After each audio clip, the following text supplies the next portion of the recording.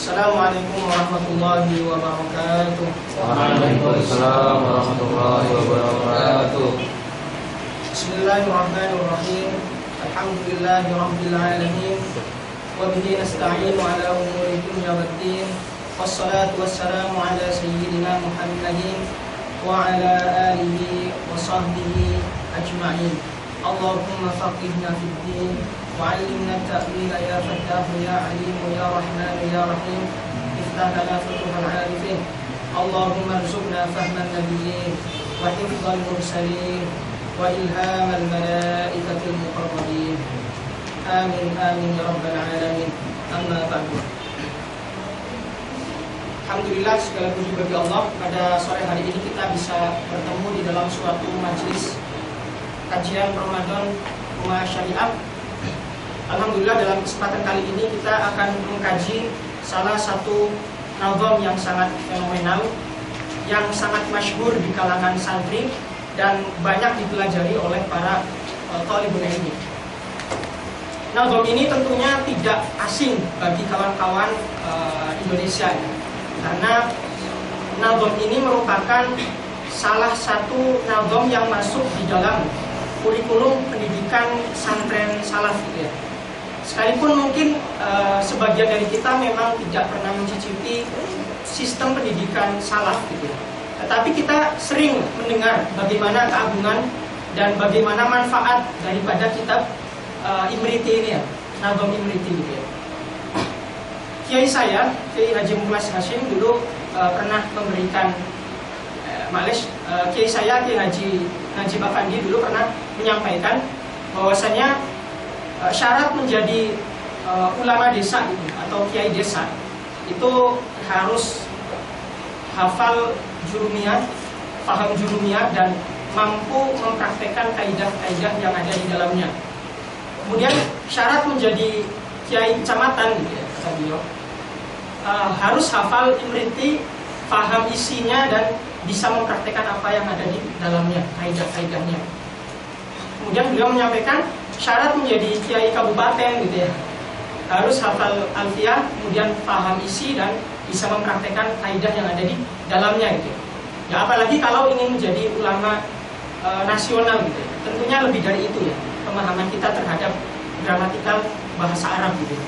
dari sini kita menyimpulkan bahwasanya e, Nadom Imriti ini bukan Nadom yang apa namanya asing kemudian manfaatnya sangat luar biasa dikaji di mana-mana, dilantunkan di mana-mana gitu ya. Bahkan di kegiatan akhir usana pesantren biasanya nadom ini sebagai bentuk uh, munakosah ya, atau seperti demonstrasi seperti itulah yang di, yang di apa namanya ditampilkan setiap tahun. Oke. Okay. Ketika kita berbicara tentang nahu, ya, tentu uh, kita tidak asing gitu ya dengan pentingnya atau urgensi daripada ilmu nahu itu sendiri di dalam memahami Al-Quran dan As-Sunnah gitu ya. Salah satu kitab yang manfaat dan keberkahan musonifnya, berkat keberkahan musonifnya, kitabnya ini bermanfaat dan dikaji di mana-mana adalah kitab Jurumiyah gitu ya. Yang dikarang oleh Ibnu Ajurum gitu ya. Nah, kitab itu memang berbentuk nasr. Maka dari situ salah satu ulama besar ya, jebolan Azhar gitu ya, alumni Azhar bernama Syekh Syarafuddin ya. Syarafuddin Yahya bin Nuruddin ya. Yahya bin Nuruddin gitu ya. Beliau nisbatnya kepada Al-Imriti. Ya. Imrit itu salah satu daerah yang terdapat di Mesir gitu ya. Ya mungkin nanti sewaktu-waktu Eh, kalau kita penasaran bisa cari tahu di mana desa Imrit gitu. Beliau mengarang sebuah nadom untuk mempermudah para tulab agar bisa menghafalkan jurumiyah bagi, bagi para tolib yang tidak suka menghafal matan nasr agar bisa mudah gitu kan dengan menghafal nadom gitu. Yang dinamakan dengan nama Abdurratul Bahiyah. Hanya saja para tulab Indonesia lebih kenal dengan sebutan nadom Imriti gitu. Padahal namanya adalah Abdurratul Bahiyah. Kalau kita tanya di maktabah-maktabah, Nadum Imriti, Imriti eh, Imriti yang mana? Imriti Warafat kah? imriti yang uh, fikih kah? Gitu ya, yang syar apa namanya bentuk nadum dari takrib kah? Atau imriti daripada jurumiyah? Ya kita harus menyebutkan namanya adalah Abdurrahman Bahiyah. Oke, tapi kalau kuliah tidak masalah. Kalau kawan-kawan Indonesia mengenal nadum imriti ya mayata badar fidihan ya akan memahaminya adalah nadum daripada juru jurumiyah tetapi nadum imriti tidak persis uh, mengandung kaidah-kaidah jurumiyah di dalamnya ada yang sudah dikurangi dan sudah ada yang ditambahkan. Karena memang tujuan beliau membuat nadom tidak sekedar ingin meringkas jurumnya, tapi ingin ingin mempermudah jurumnya sekaligus menjadikan imriti ini nadom duratul bahiyah sebagai pengantar dari kitab jurumiyah menuju ke kitab al alfiyah gitu ya. Maka e, di sini dalam tujuh pertemuan yang sangat singkat tidak mungkin saya akan menjelaskan nadom dengan jumlah sekitar 200 lebih gitu ya. Dengan sangat detail itu nggak mungkin. Jadi kita hanya akan e, mencoba bersama memahami zohir daripada lafaz nadurnya saja. Gitu. Oke. Bismillahirrahmanirrahim.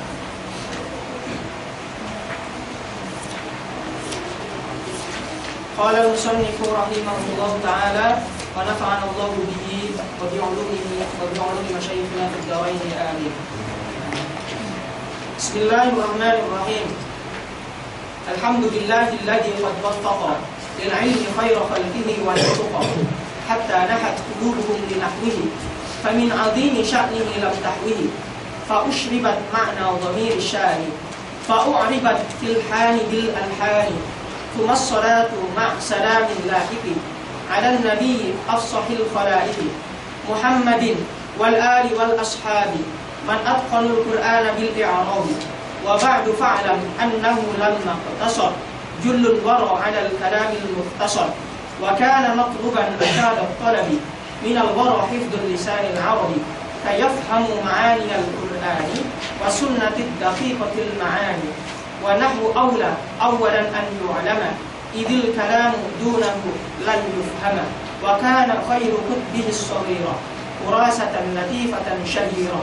في عربها وعجبها والنور ألافها الحبر بن آج النور وارتفعت أجلة بعلمها مع ما تراه من لطيف حجمها. نظمتها نظما بديع مقتدي. بالأصل في تقريبه للمبتدي وقد حذفت منه ما عنه بنا. وزدته فوائدا بها الغنى متمما لغالب الأبواب فجاء مثل الشرح للكتاب سئلت فيه من صديق صادق يفهم قول الاعتقاد الواثق إذ الفتى حسب اعتقاده رفع وكل من لم يعتقد لم ينتفع. فنسأل المنان أن يجيرنا من الرياء مضاعفا أجورنا وأن يكون نافعا بعلمه man i'tana bihifdi wa fahmi. Bismillahirrahmanirrahim. Musonif memulai Nazom Imriti, Nazom Durofil Bahiyah dengan mengucapkan hamdalah. Tentunya ini mengikuti salah satu hadis yang mengatakan bahwasannya tidaklah baik tidaklah sempurna hal-hal kebaikan ketika tidak dimulai dengan bismillah. Dalam riwayat lain juga ada yang mengatakan tidaklah sempurna ya, artinya uh, tidak sempurna ketika suatu kebaikan tidak dimulai dengan hamdalah gitu ya. Okay. Alhamdulillah. Alhamdulillah. Alhamdulillah adalah bentuk pujian gitu ya. Ini merupakan bentuk jumlah ismiyah alhamdulillah yang sebenarnya asalnya adalah berupa jumlah fi'liyah. Yang mana ketika kita kembalikan kepada jumlah fi'liyah, maka yang sedang memberikan pujian adalah si mutakal mutakalim. Ketika dibaca oleh para khori, oleh para pembaca nazom ini, maka yang memberikan pujian adalah orang yang mem membaca gitu ya. Atau kalau kita uh, tafsirkan, maka bentuknya adalah Ahmadullah hamdan. Gitu. Ahmadullah hamdan lahu gitu ya. Oke. Alhamdulillah. Di sini berkedudukan sebagai mubtada. Kemudian al yang terdapat di dalam alhamdulillah bisa kita bawakan kepada al lil bisa juga kita bawakan kepada al lilis gitu. Bisa juga kita bawakan kepada al lil ahdi gitu ya. Kalau kita bawakan al di dalam alhamdu ke dalam al lil gitu ya. Maka ketika dimaknai al lil seperti halnya kalam ketika dikatakan ar-rajulu afdalu minan nisa gitu ya. Laki-laki lebih mulia, lebih afdal daripada perempuan. Apakah berarti semua laki-laki lebih afdal daripada perempuan? Oh tidak. Tidak melazimi bahwasanya ketika dikatakan ar-rajulu afdalu minan maka semua Eh, laki-laki lebih abdul daripada perempuan. Ada kalanya perempuan lebih abdul daripada laki-laki. Artinya jenis itu boleh dimaknai keseluruhan, boleh dimaknai sebagian, gitu ya. Hanya saja karena di sini hamad atau pujiannya itu disandarkan kepada Allah, artinya dimiliki oleh Allah, maka ada indikasi bahwasanya pastinya pujian di situ adalah segala pujian, tidak sebagian pujian gitu ya. Karena Allah dat yang maha luhur gitu ya, berhak untuk mendapatkan segala segala pujian. Itu kalau kita maknai lil, lil jinsi. Kalau kita maknai alnya sebagai al, lilistighraq gitu ya. Maka al di dalam alhamdu di sini bisa kita ganti dengan kullu. Ai kullu hamdin gitu ya. Berarti ketika dikatakan kullu, ah berarti segala puji gitu ya. Segala puji semuanya. Kemudian kita, kalau kita bawakan kepada al lil ahdi gitu ya. Maka di sini bisa kita bawakan kepada anlil ahdi Artinya dihem kita ketika memahami alhamdulillah di sini maka akan terbesit bahwasanya ujian yang dimaksud adalah ujian yang disampaikan atau yang diucapkan oleh si musonif atau pujian yang diucapkan oleh para pem, para pembaca gitu. Dan kita akan memahami ke situ. Gitu. Jadi kita boleh memaknai kepada tiga al yang tadi sudah saya sebutkan. Alhamdulillah. Kemudian lillahi, lillahi di sini berkedudukan jar majrur berkedudukan sebagai uh, khobar. Lam di sini boleh kita bawakan kepada lam uh, lilis tiqab, boleh. Boleh kita bawakan kepada lam lilih tisos gitu ya. Boleh juga kita bawakan kepada lam lam lil milki gitu. Lil milki jelas karena Allah dat yang berhak untuk memiliki. Lilih tisos karena yang ber, yang berhak untuk memiliki segala pujian ya Allah ya maksudnya khusus hanya Allah gitu yang berhak memiliki segala pujian istiqoq ya jelas yang lebih berhak ya yang berhak untuk mendapatkan pujian dan memang sudah uh, mendapatkan pujian adalah Allah. Eh, lalu kenapa sih di sini musonif menggunakan jumlah ismiyah, tidak menggunakan jumlah fi'liyah? Kan boleh-boleh saja kita menggunakan abda'u misal gitu ya, atau abda'u bil hamdi gitu, seperti nadum-nadum yang lain.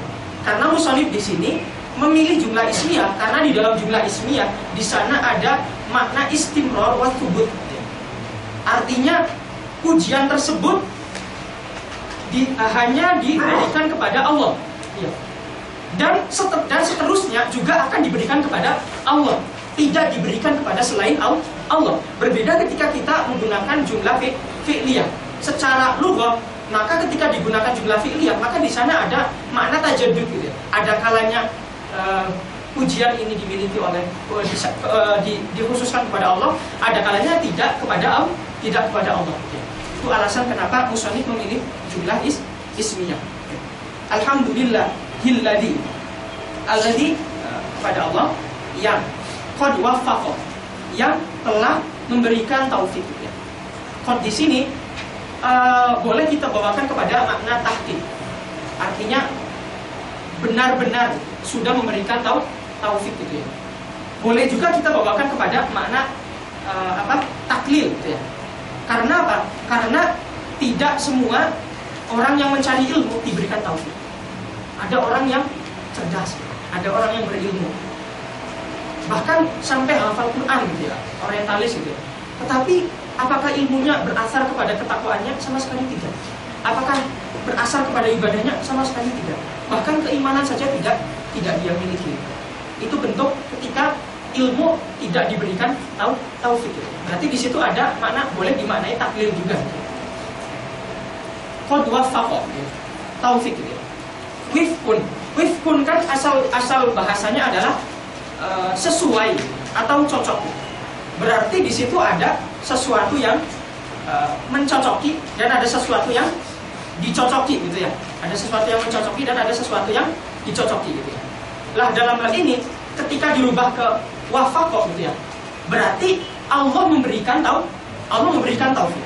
Artinya Allah memberikan kecocokan kepada dua hal yang sedang ingin dipertemukan. Apa ya dua hal itu? Yaitu antara uh, khairul tadi kepada para makhluk yang dipilih gitu ya atau sebaik-baiknya makhluk kepada ilmu dan ketak ketakwaan. Karena tidak semua uh, makhluk gitu ya diberikan uh, taufik ya, untuk mendapatkan ilmu dan mendapatkan ketak ketakwaan. Maka di sini dikatakan khairul khalqihi gitu ya. Nah, lalu mungkin ada yang bertanya-tanya, perbedaan taufik dengan hidayah itu apa sih? Taufik. Taufik itu bisa diibaratkan seperti rumah gitu ya. Kemudian hidayah itu bisa diibaratkan seperti alamat. Jadi ketika seseorang itu ingin mendapatkan taufik ya, dalam mencari ilmu gitu ya, maka dia membutuhkan adanya hidayah dari Allah atau petunjuk gitu ya. Hidayah ini tujuannya untuk apa? Hidayah ini untuk menunjukkan oh, si tolib ini untuk mencapai kepada rumah yang sedang dia cari. Rumah ini yang kita katakan sebagai irodatullah atau kehendak Allah. Lah, ketika si tolib ini sudah sampai kepada rumah, sudah menemukan rumah dengan alamat atau hidayah tadi, gitu, maka dia sudah mendapatkan tahu taufik gitu ya, sudah mendapatkan taufik.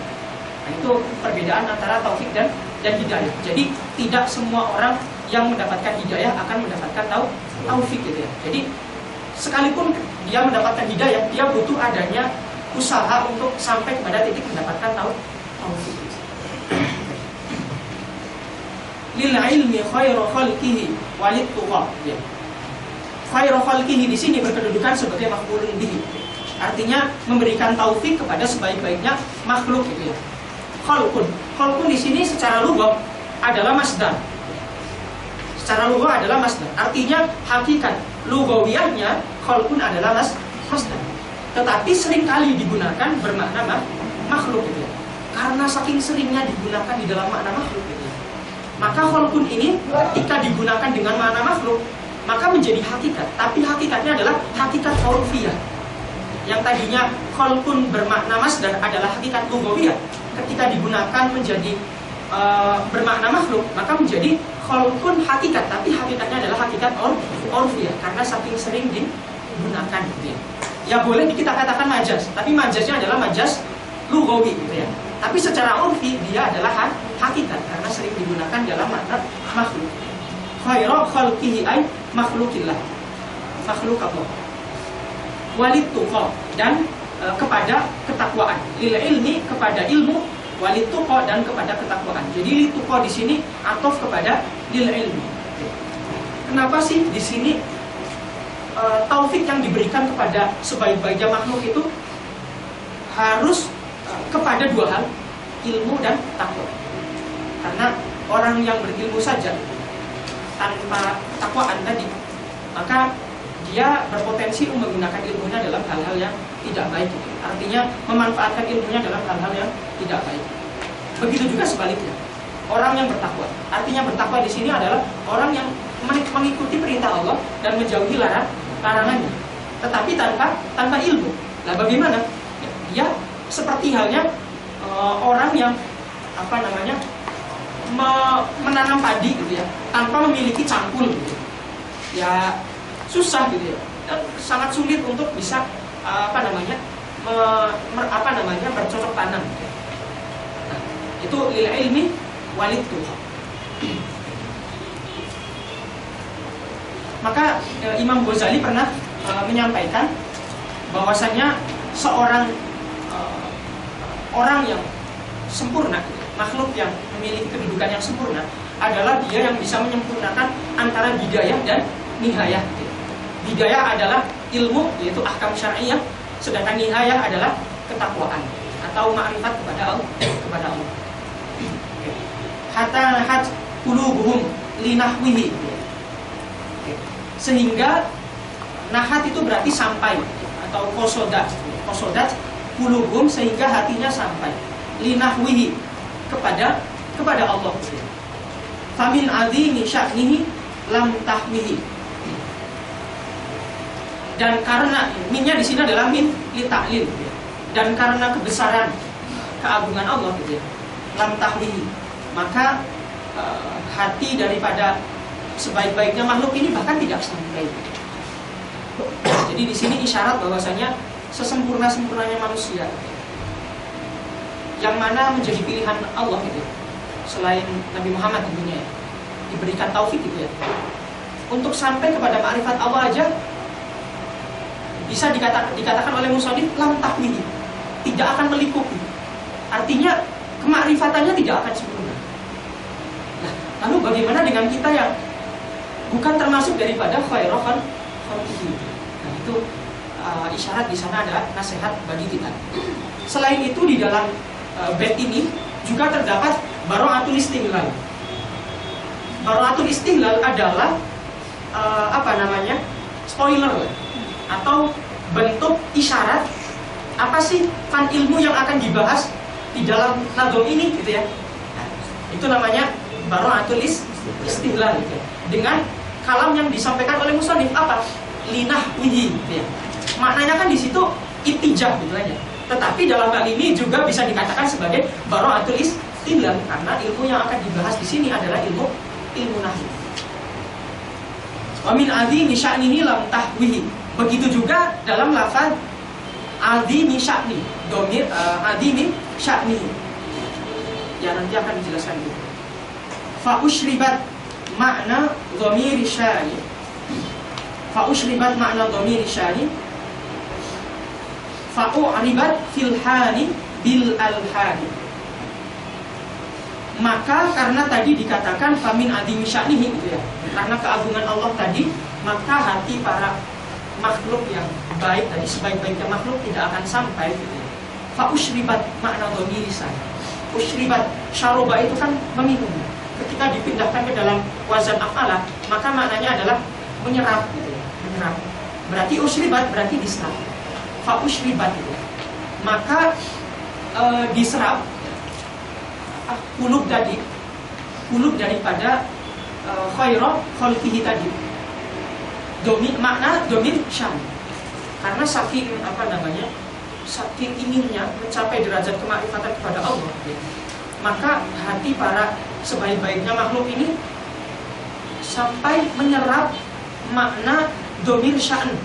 Domir sya'an itu apa? domir sya'an adalah domir yang terdapat di dalam kalam fa'lam. Annahu la ilaha illallah. Annahu. Bunya di sini adalah domir sya'an yang kembali kepada lafaz setelahnya. Apa? Yaitu berupa kalimat la ilaha illallah, kalimat tauhid di situ ya. Maka karena saking ingin sampai pada derajat makrifat, makanya di sini si kulub eh, hati dari para uh, orang yang uh, sebaik-baiknya makhluk ini sampai menyerap gitu ya makna lafaz la ilaha illallah. Artinya zikir la ilaha illallah ini sudah bukan lagi dilafazkan tetapi sudah menjadi makanan bagi hati mereka. Dan domir sya'an di sini juga merupakan bentuk baro'atul istilah. Kenapa? karena domir sya'an dibahas di dalam ilmu ilmu nahu yang mana ilmu nahu akan dibahas berikutnya di dalam nadom itu juga bentuk baro'atul istilah. Fa'u aribat filhani bil alhani Nah, karena tadi makna domir sya'an ini sudah diserap oleh uh, daripada fire khalqi, maka kemudian fa'u ribat gitu ya. Maka dibangunlah hati mereka filhan. Han itu apa? Han itu kedai. Atau dalam bahasa sekarang bisa kita maknai bar gitu. Bil alhan. Bil alhan itu merupakan apa namanya? nyanyian-nyanyian, senandung gitu ya atau irama-irama yang dilabuhkan gitu, yang di uh, apa namanya syairkan. Berarti di sini karena tadi saking meresapi makna lafaz la ilaha illallah gitu ya, maka di sini hati mereka itu seakan-akan sedang mabuk gitu ya. Sedang berada di bar. Sedang berada di bar seakan-akan mendengarkan lantunan lafaz lantunan keindahan gitu ya. Dengan mengucapkan la ilaha illallah seakan-akan sedang melayang gitu, melayang menikmati lafaz la ilaha illallah. Fa'uribat filhani bil alhan.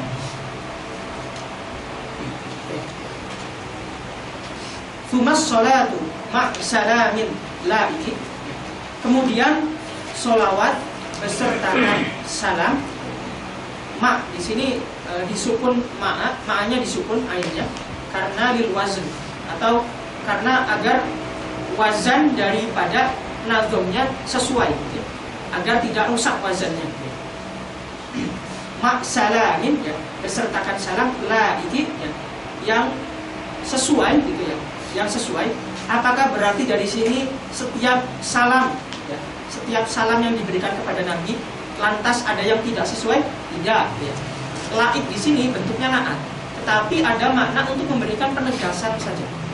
Karena setiap solawat dan setiap salam pasti sesuai gitu ya. Tentunya juga sesuai. Bukan sebagai uh, koyid. Artinya ketika dikatakan koyid maka ada salam dan sholawat yang tidak se tidak sesuai. Tidak semuanya sesuai. Alan Nabi as-sohil karena tadi as adalah menjadi mubtada gitu ya kemudian membutuhkan khobar maka ala nabi di sini menjadi jar majrur yang berkedudukan sebagai khobar afsofil khalaiki menjadi naat daripada an nabi afsoh gitu ya. Afsoh adalah sebaik-baiknya atau sefasih-fasihnya makhluk gitu. Kholaik adalah jamak daripada makhluk gitu ya. Afsoh di sini adalah isim tafdil.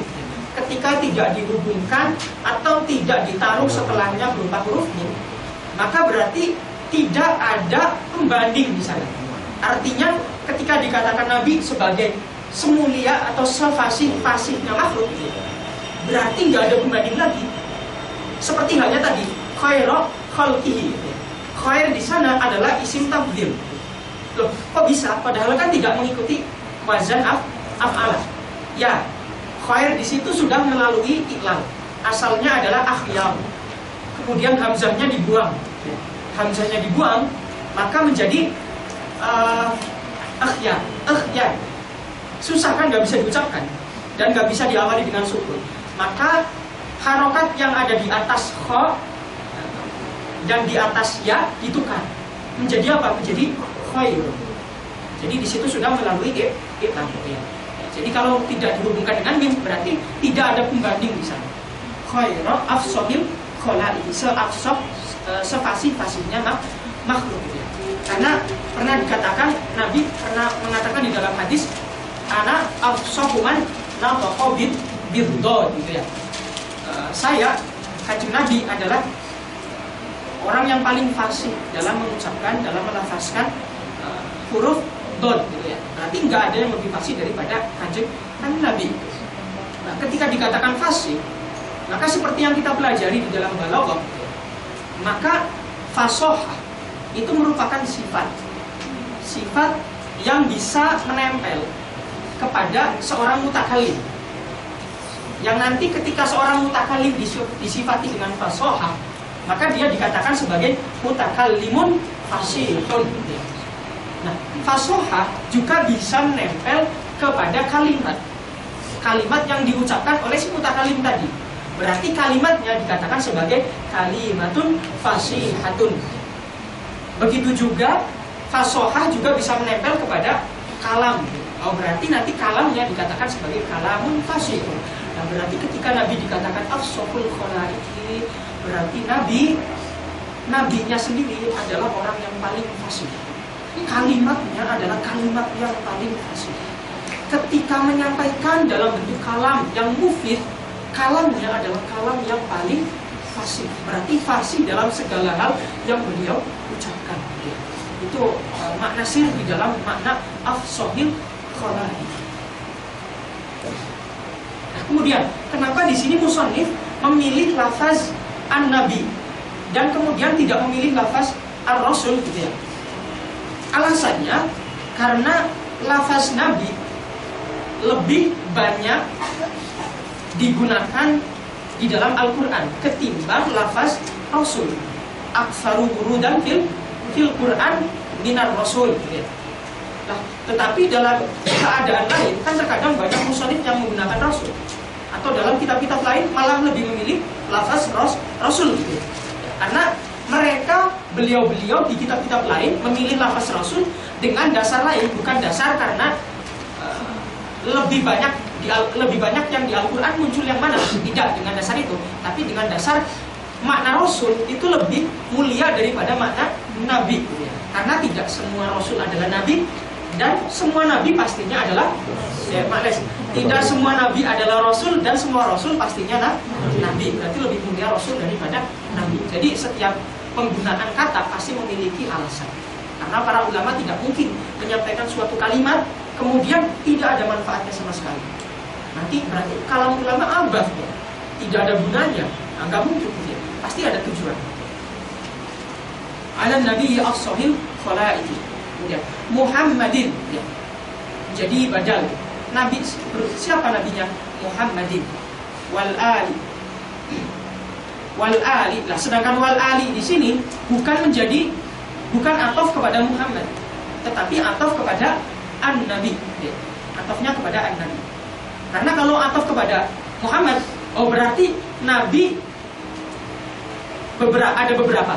Salah satunya adalah Nabi Muhammad. Kemudian Al-Alu juga adalah Nabi. Kemudian Ashab juga nah, Nabi. Kan nggak sah kalau atofnya kepada lafaz Muhammad. Maka atofnya kembali kepada An-Nabi. Wal-Ali.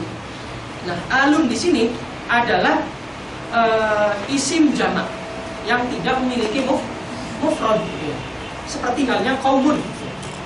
Kita mengenal dalam bahasa Arab ada jamak dan ada isim jamak gitu ya. Kalau jamak berarti seperti halnya muslimun memiliki mufrad enggak? Ya memiliki mufrad apa?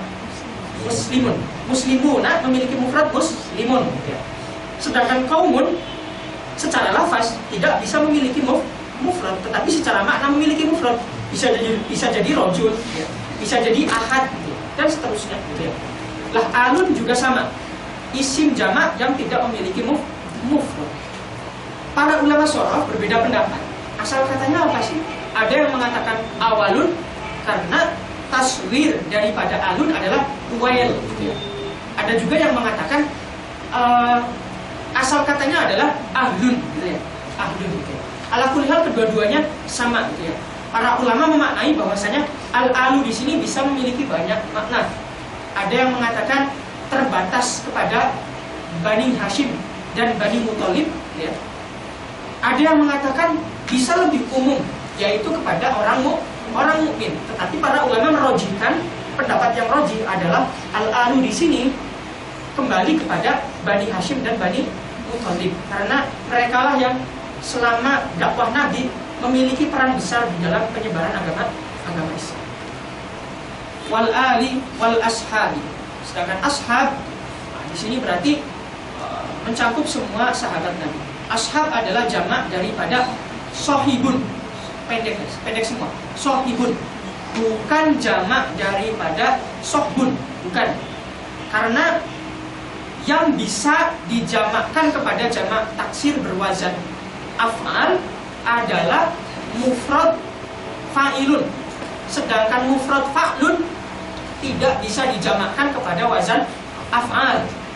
Kecuali kalau fa'lun huruf tengahnya adalah berupa huruf ilat seperti saubun seperti saubun maka boleh dijamakkan kepada wazan afal saubun jamaknya apa? Boleh menjadi as aswab itu boleh. Karena tengahnya adalah berupa huruf ilat tapi kalau tidak berupa huruf ilat tidak boleh. Maka di sini ashab karena tengahnya bukan huruf ilat maka mufradnya adalah sohibun sohibun man atqanul qur'ana bil i'rabi. Para sahabat yang atqan. Atqan itu berarti orang yang ada di dalam bahasa Arab kita mengenal adanya orang yang istaton istaton itu berarti bisa melakukan sesuatu tetapi ada juga orang yang atqana atqana itu tidak sekedar melakukan tetapi setelah melakukan dia akan menyempurnakan apa yang sedang dia lakukan Artinya mengokohkan, mengokohkan apa yang dia lakukan. Itu namanya it itqon gitu. Man Quran. Para sahabat adalah orang yang sempurna atau menyempurnakan atau kokoh di dalam uh, Al-Qur'an. Al-Qur'an menjadi maf'ulun bihi. Bil sababi. Ada yang mengatakan baknya di sini bak yang bermakna dengan, berarti bak yang bermakna biasa itu. Ada yang mengatakan baknya adalah bak sababi. Artinya kenapa bisa itqon? Karena bil i'rab. Sebab i'rab artinya sebab bisa menerapkan i'rab. Bisa mengucapkan bahasa Arab dengan i'rab yang yang baik. Makanya mereka dikatakan man atqanul Quran. Sebab apa orang yang bisa sempurna dalam melafazkan al Al-Quran. Wa ba'du wa ba'du fa'lam annahu lam maktasar wa ba'du ketika lafaz ba'du kemudian disusul dengan huruf fa maka kita bisa memahami bahwasannya ba'du di situ sebenarnya sebelum ba'du adalah lafaz amma amma sebagai syarat daripada fa robitotun lil jawab gitu ya. Hanya saja ammanya di sini dibuang agar lafaznya lebih singkat karena mahalnya musonif sedang membuat nadom. Gitu. Nadom ketika uh, lafaznya lebih ringkas kan lebih baik gitu. Maka di sini kalau kita munculkan maknanya uh, bunyinya adalah wa amma ba'du. Kemudian ba'du. Ba'du di sini didomahkan karena uh, ada mudhof ilaih yang dibuang. Yaitu apa? Yaitu wa amma uh, kala wa amma kalami yang mana kalami menjadi mutada ditakdirkan. Wa amma kalami ba'da kalami as-sabiq ba'da kalami as-sabiq atau ba'da alhamdulillah wassalawat gitu ya. Ya. Fa'lam. Fa'lam inilah sebagai bentuk daripada kalam yang jatuh setelah amma amma kalami ba'da kalami sabiq amma kalami al-ati ba'da kalami as as-sabiq gitu ya. Lah kemudian kan bisa saja kita menggunakan ba'da. Maka alasan e, dimabnikan dengan doma karena selain mudhof ilaihnya ini dibuang juga diniatkan maknanya. Artinya mudhof ilaihnya dibuang secara lafaz tetapi secara makna kita tetap meniatkan keberadaannya di sini. Makanya di sini dimabnikan menjadi ba'du. Wa ba'du fa'lam. Fa'lam, ketahuilah. Ketika kita menemukan di beberapa nuskah seperti di dalam matan-matan marokot, di sana terkadang kita menemukan uh, nuskah yang ada tidak mengikut sertakan adanya fa.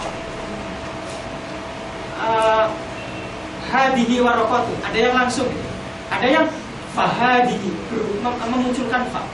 Maka kita katakan bahwasanya memang para ulama berselisih. Ada yang membolehkan faknya dibuang, ada yang mewajibkan faknya harus ber, bertahan. Ala hal ketika kita menjumpai adanya amma kemudian tidak diikuti dengan fa robitatul jawab, maka itu bukan sebuah kesalahan yang mutlak. Ada yang membolehkan. Ya. Fa'lam annahu Nya di sini adalah domir sya'n. Ketahuilah bahwasannya lam maktasor. Di sini disukun, iktasornya disukun, padahal seharusnya adalah iktasor difatahkan karena dia merupakan fiil fiil madhi. Maka di sini disukun karena lil wazni. Karena memang syairnya menuntut agar sesuai dia disukun. Lam maktasor. Ketika meringkas atau ya meringkas siapa yang meringkas julun waro. Julun waro adalah seagung-agungnya waro di sini adalah makhluk. Waro seperti seperti halnya dengan makhluk. Sama maknanya. Alal kalamil mukhtasar dalam kalam yang mukhtasar atau kalam yang ringkas yaitu ketika Nabi e, meringkas setiap sabdanya menggunakan kalam yang muhtasor. Muhtasor adalah e, lafaznya sedikit tetapi mengandung banyak makna. Itu namanya ikhtasor. Berbeda dengan ikhtasor. Kalau ikhtasor lafaznya di lafaznya sedikit dan maknanya juga sedikit gitu ya. Itu perbedaan antara ikhtasor dengan ikhtasor. Oke. Wa kana matluban Wa kana matluban asyad talabi. Kemudian wakana isim daripada kana nanti akan disebutkan di akhir bait yaitu hifdul lisanil arabi wakana dan uh, hifdul lisan hifdul lisan atau uh, apa namanya menjaga lisan Arab matluban itu uh, sesuatu hal yang harus dilakukan atau sesuatu hal yang sangat urgen dan dituntut ya. matluban asyada tolabi gitu ya. Asyada tolabi di sini masdarnya adalah masdar libayani gitu ya. kenapa? Karena asalnya adalah tolaban asyada tolabi. Artinya tolab yang seperti apa sih naunya gitu ya? Tolab yang sangat syadid gitu sangat syadid. Makanya di sini uh, dikatakan sebagai maf'ul mutlaknya adalah maf'ul mutlak di bayani an-nau minal waro dituntut dari siapa? Dituntut dari para makhluk dituntut dari manusia dituntut daripada orang uh, daripada kita semua jadi di sini sedang memberikan penegasan bahwasanya menjaga lisan Arab atau mengucapkan bahasa Arab sesuai dengan i'rab itu merupakan hal yang sangat urgen hal yang sangat penting dan harus dijaga oleh siapa? Oleh setiap dari kita. Ya. Artinya ketika itu hal penting, maka mempelajari ilmu nahwu juga lebih dari lebih dari kepentingan itu sendiri. Ya. Sangat-sangat penting gitu ya. Nah, di sini dikatakan matru dan asyada tolabi. Ya. Kayafhamu ma'aniyal Qur'an. Kenapa sih menjaga lisan Arab itu sangat sangat penting gitu ya. Karena gitu ya. Ah berarti di sini kainnya adalah kai bermakna lit taklil gitu ya. Kainnya lit taklil. Nah, kalau kainnya lit taklil kemudian fiil mudore yang jatuh setelahnya yaitu yafhamu. Ya. Yafhamu di situ adalah uh, mansub gitu ya. Maka di sini kaili taklil tidak bisa menasobkan maka membutuhkan adanya an mudmaroh membutuhkan adanya an mudmaroh berarti aslinya adalah kai an yafhamu kai an yafhamu itu karena kita membawakan kainya di sini kepada makna taklil dan memang itu yang sesuai gitu ya. Itu yang sesuai. Berbeda kalau kita bawakan ke dalam makna masdar. Maka antara lafaz sebelumnya dengan lafaz setelah kai tidak ada keterkaitan atau tidak ada makna sebab musabab. Cuma kalau nanti kita bawakan ke makna masdar gitu ya, maka berarti kainya di situ ya, sebelum kai ditakdirkan adanya lam. Ditakdirkan adanya lam. Dan kemudian kai di sini menjadi nasib atau anil nawasib. Bisa juga kita katakan sebagai kai masdariyah dan lamnya tadi adalah lam takliliyah ya. lam takliliyah yang memiliki makna taklil loh kan kedua-duanya bisa bermakna taklil kan kalau kita menggunakan takdiran lam berarti makna taklilnya berada di huruf lam. Ya. Kalau kita menggunakan takdiran an mudmaroh berarti kan makna taklilnya ada di lafaz kai berarti kedua-duanya ada makna taklil. Lah lalu kenapa kita harus memilih uh, takdiran an yang dirojikan? Karena yang huruf apa kalimat yang mengandung makna takdir itu dimunculkan. Maka ketika dimunculkan lebih uh, aula untuk dirojikan. Daripada kita merojikan lam makna takdir yang ada di lam yang mana lamnya ditakdirkan gitu ya, ya maka di sini lebih roji kita mengatakan uh, mansub uh, uh, fiil yah, yafhamu mansub karena adanya an mudmaroh kayafhamu ma'aniyal Quran agar uh, mereka paham merekanya domir waru di sini kembali kepada waro atau makhluk. Ma'aniyal Quran ini menjadi maf'ulun bihi makna-makna Al-Quran. Wasunnatid daqiqatil ma'ani.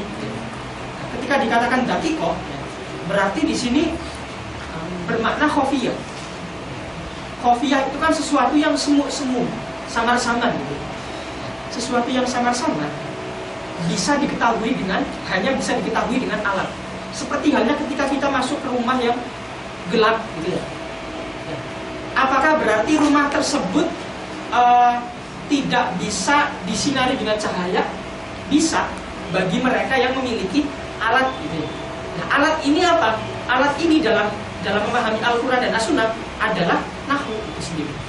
Maka dikatakan ad-daqiqah al-khafiyah hanya bisa diketahui oleh orang yang memiliki alat atau center tadi ya, oleh oleh orang yang memiliki penerang berupa apa? Berupa ilmu ilmu nahu. Itu makna daripada ad-daqiqah al-ma'ani. Wanahu aula. Menjadi mubtada, Kemudian wawunya di situ, wawunya istiqna. Artinya wawu di situ tidak ada keterkaitan dengan kalam sebelumnya. Artinya di sini sedang memulai kalam kalam baru. Boleh dikatakan istiqna, boleh dikatakan ib, tidak. Keduanya eh, kita katakan sama lah dalam hal ini. Singkatnya sama. Walaupun pasti ada perbedaan. Oke, wanahu aula. Aula di sini berkedudukan menjadi khobar.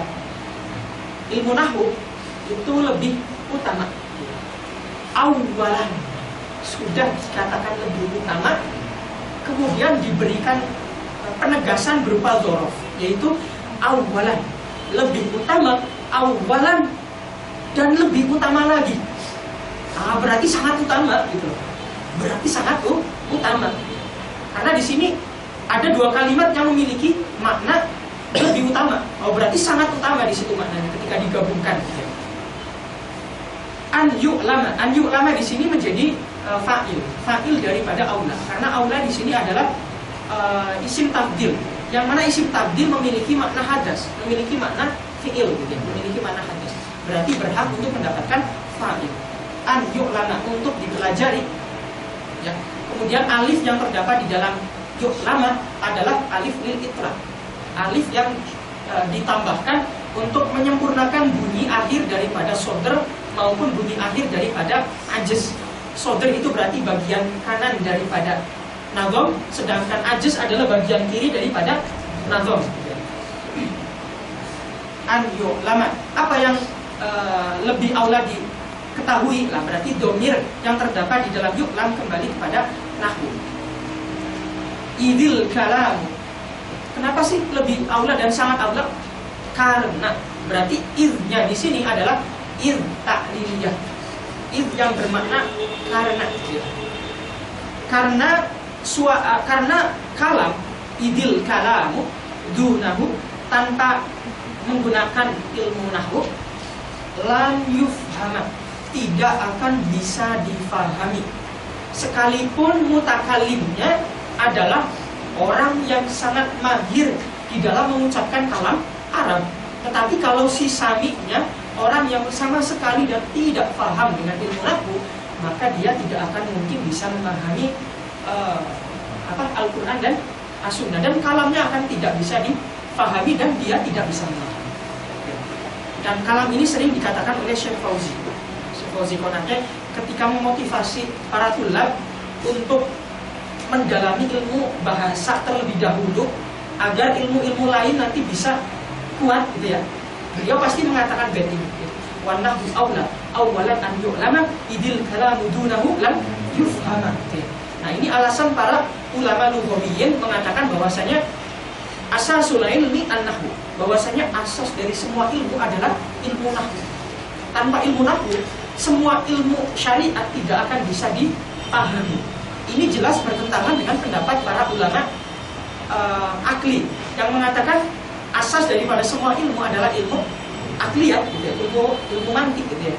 Tanpa ilmu mantik maka uh, apa namanya ilmu semua ilmu tidak akan bisa dipahami. Ala hal itu pendapat dari masing-masing ulama dalam mer, apa namanya mengunggulkan setiap bidangnya gitu ya, mengunggulkan setiap bidangnya karena ilmu ini kan sebuah hal yang menarik gitu. Ibaratnya seperti hal yang sedang dibelanjakan kalau hal yang dibelanjakan kan harus dipromosikan dengan sebaik mungkin, harus di framing dengan sebaik mungkin. Hanya saja perbedaannya, kalau barang dagangan bisa jadi diiklankan dengan hal-hal yang tidak sesuai dengan realita. Tetapi kalau ilmu pasti sesuai dengan realita dengan dasarnya masing-masing. Ulama akliyat mengatakan mantik utama karena punya dasar. Ulama nahu mengatakan nahu sebagai ilmu utama Ya karena punya punya dasar. Karena kulihal kita sebagai orang ajam uh, tidak masalah mau mendahulukan mantik maupun ilmu nahwu. Yang jelas kedua-duanya adalah ilmu yang sangat penting untuk terlebih dahulu dipelajari. Karena kalau kita lihat para masyaikh itu Syekh Usam orang yang Arab gitu ya. Ternyata justru mendahulukan akliyat untuk bisa dipelajari terlebih dahulu. Padahal beliau adalah orang Arab, justru memilih manhaj ajami atau yang kita kenal adalah manhaj akli gitu ya. Padahal beliau orang Arab. Lah Syekh Fauzi yang uh, sebagai orang ajam gitu ya, kan bukan orang Arab, dia orang apa namanya Pantigadi gitu ya. Bahkan malah beliau menggunakan manhaj Arabik gitu ya. Atau yang kita katakan tadi sebagai manhaj nahwi gitu ya. Ala itu bentuk apa namanya? Jadi kebebasan untuk memilih. Tidak selamanya orang Arab harus berpegang teguh dengan manhaj Arabi, tidak selamanya orang Ajam harus berpegang teguh dengan manhaj Ajami. Kita melihat sendiri para guru-guru kita juga memiliki kebebasan dalam memilih dalam memilih uh, manhaj dalam mengajar, manhaj dalam mengajar, mengajar para tulabnya.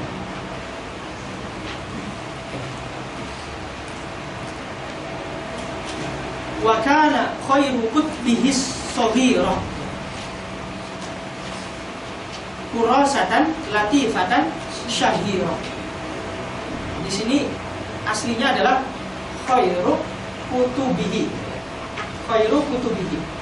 Lalu kenapa taknya di situ disukun? Karena liwazin karena agar sesuai dengan irama daripada arud. Maka disukun.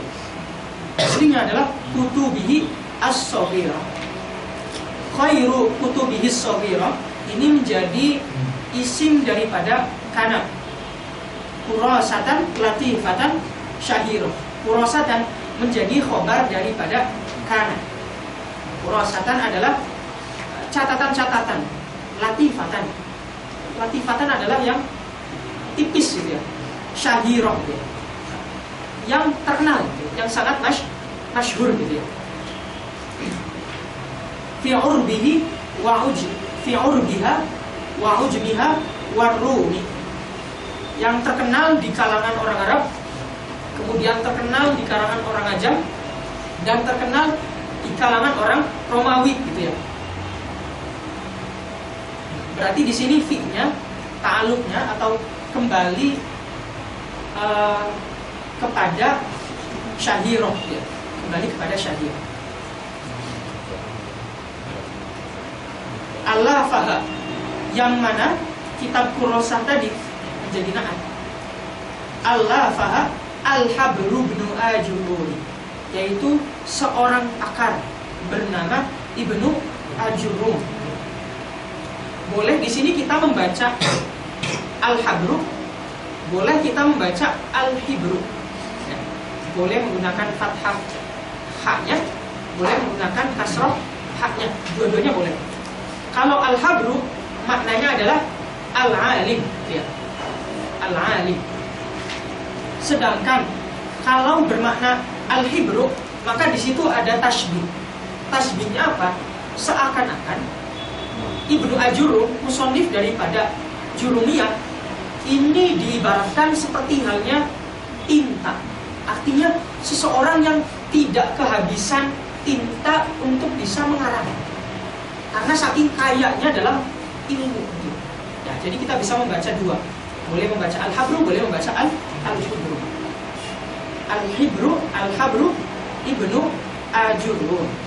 Ajurum adalah nama musonif ya daripada ajurumiyah. Yang mana nisbahnya di sini menurut bahasa orang apa namanya barbar, bahasa orang barbar yaitu bahasa e, daerah kelahiran Ibnu Ajurum. Makna Ajurum adalah al-fakir as-sufi, seorang yang apa namanya? yang fakir. Fakir itu berarti di sini maknanya adalah membutuhkan, selalu membutuhkan as-sufi yang selalu mensucikan diri.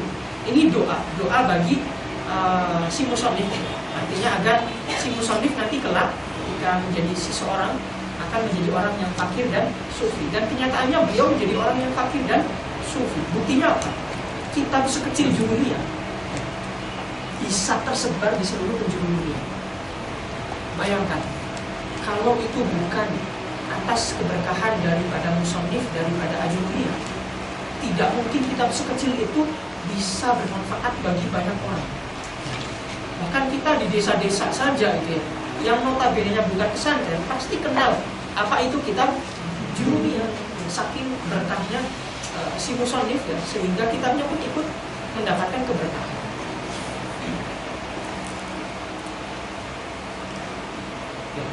Kemudian wantafa'at ajillatun bi'ilmiha ma'ma tarahu min latifi hajmiha. Wantafa'at dan telah mengambil manfaat siapa? Ajillatun ajillatun jamak daripada jalil. Artinya para pembesar para ulama besar. Bi'ilmiha. Dengan ilmu yang terdapat di dalam kurosah tadi. Di dalam kurosah tadi.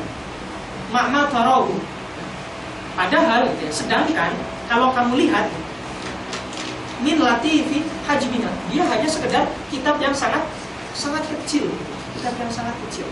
Tapi sudah eh, manfaatnya ke semua orang tersebar. Bahkan sampai para ulama besar ketika ditanya kitab apa yang kamu pernah pelajari? Pasti akan menjawab saya pernah mempelajari kitab jurumnya pasti. Siapa itu? Nazom tuha nazman badi'an muqtadi.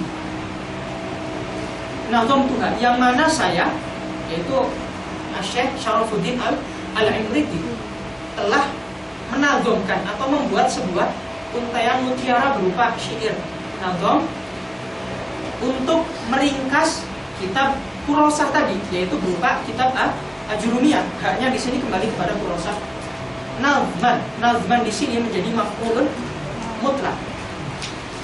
Nazom tuha nazman badian. Boleh menjadi maf'ulun mutlak boleh juga menjadi maf'ulun bihi yang kedua. Badian yang sangat indah. Yang sangat indah beliau mengatakan menisbatkan keindahan kepada uh, karangannya sendiri. Boleh nggak seperti itu? Boleh boleh saja. Karena beliau sendiri sudah apa namanya sudah melewati banyak hal. Sudah belajar banyak hal tentang syair dan menjadikan beliau sebagai salah seorang pakar di dalam syair bahkan para ulama dulu dulu saya pernah menyampaikan musonif daripada Imriti itu punya sebuah julukan julukan yang sangat istimewa yang jarang dimiliki oleh ulama-ulama lain julukan apa yaitu julukan beliau dikatakan sebagai an-nazim Kenapa dikatakan An-Nazim? Karena beliau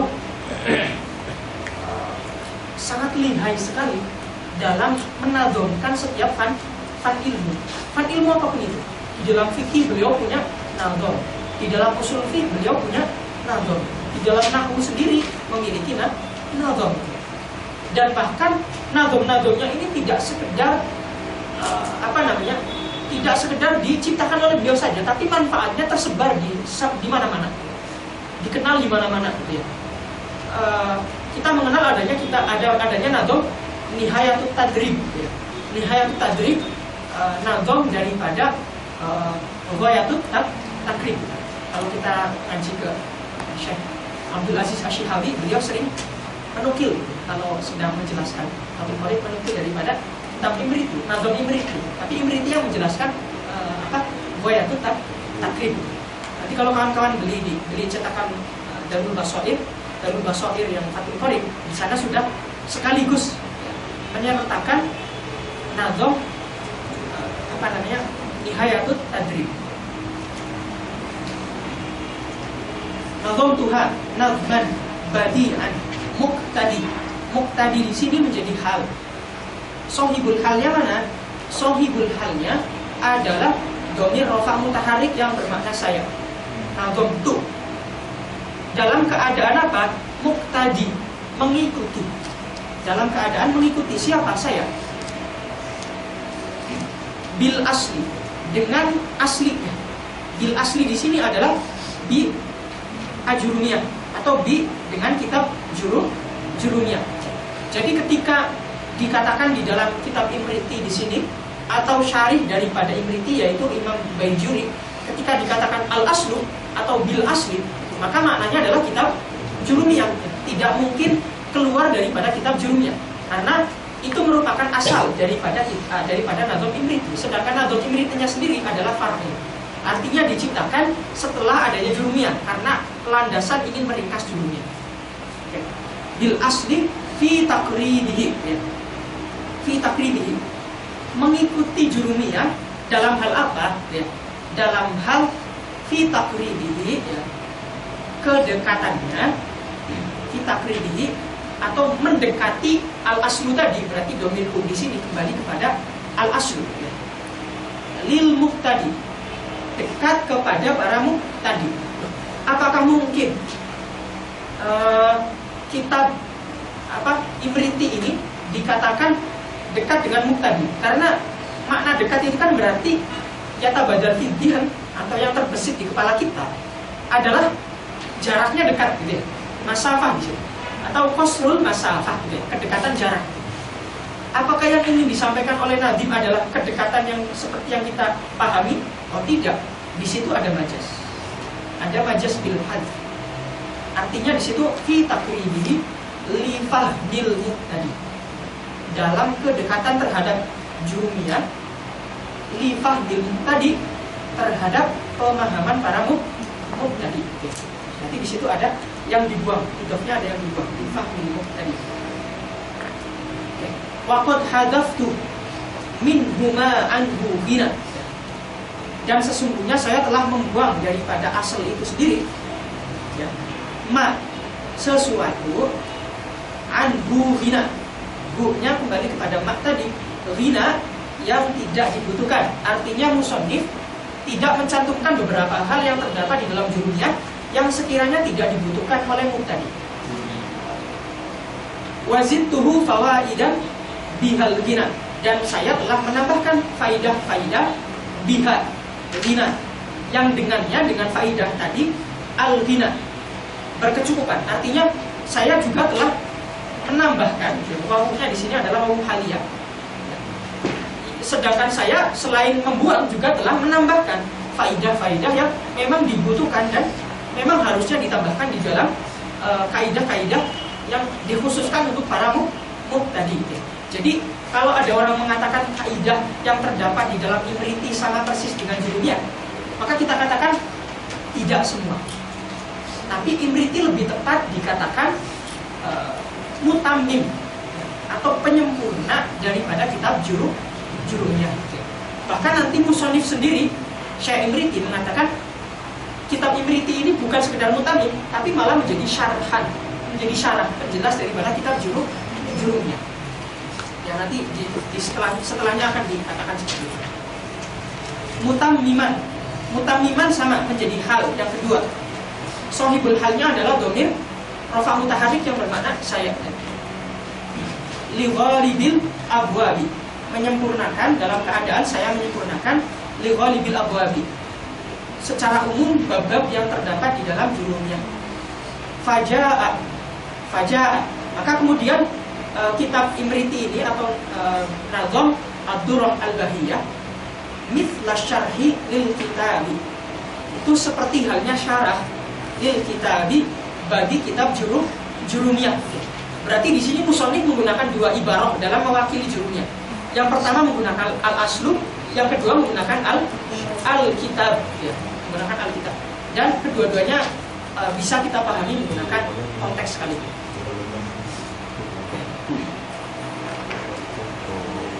Su'il tu minhu min sodikin sodiki ya.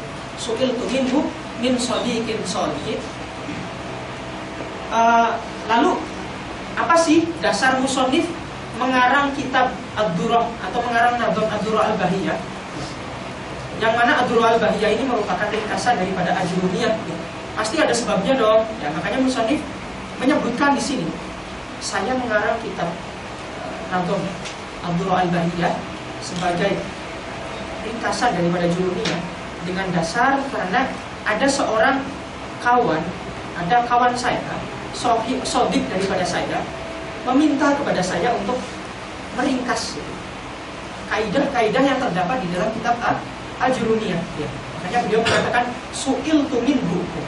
Su'il tu su'il tu fihi min sadiqin. Su'il tu fihi artinya saya diminta fihi di dalam mengarang nazom haknya kembali nazom atau kurosah tadi boleh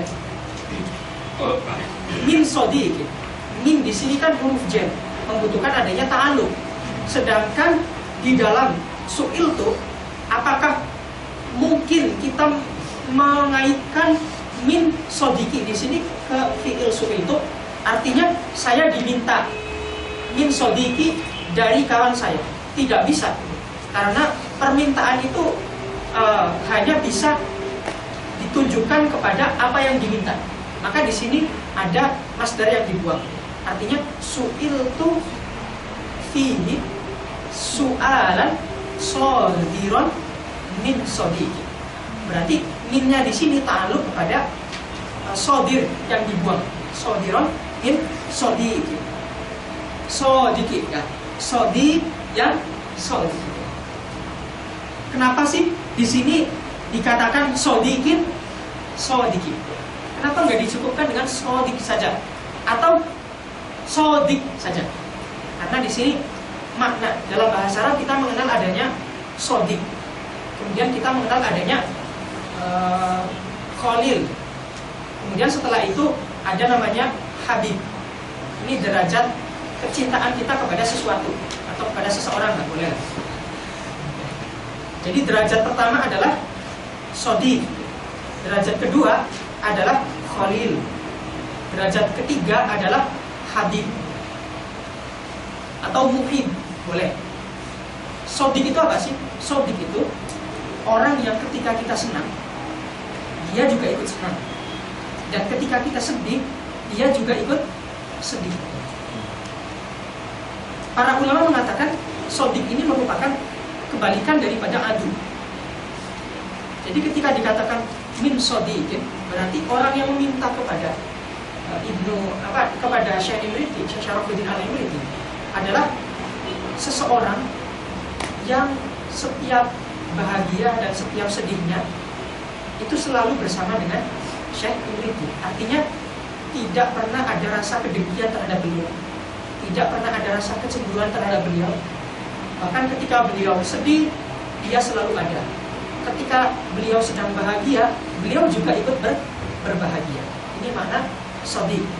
Maka eh, saya sangat salut ketika orang Mesir itu menggunakan diksi sodik kepada setiap orang.